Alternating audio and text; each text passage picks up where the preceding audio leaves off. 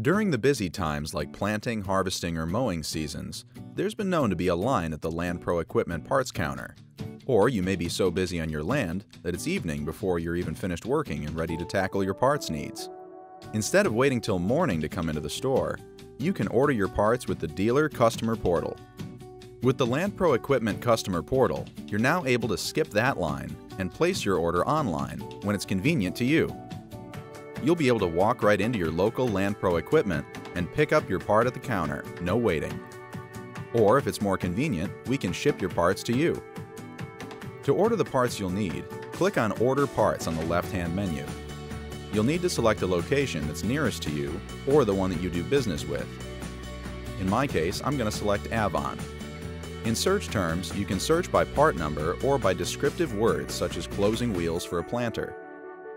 If you don't know your part number, and you're not sure what to look up and you're not finding what you need, go over to the right and click John Deere Parts Lookup.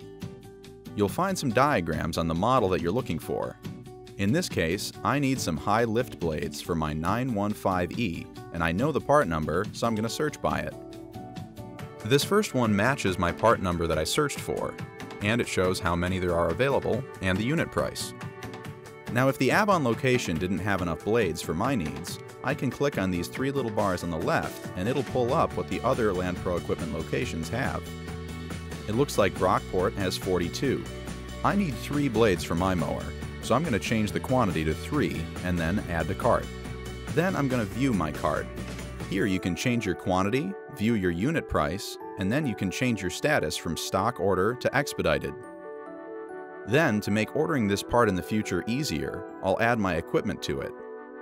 I'm going to select 915E, so if you want to order blades for your 915E, you can go to My Equipment and see what your previous orders were.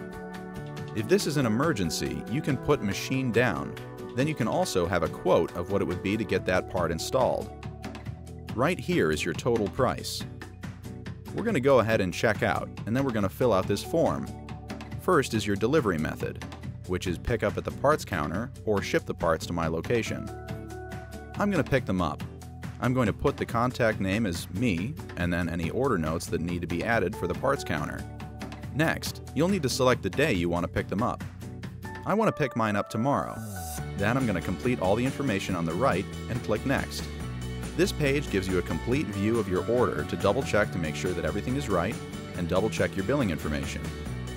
Once everything is confirmed, click Complete Order, and our parts counter will get to work on your order.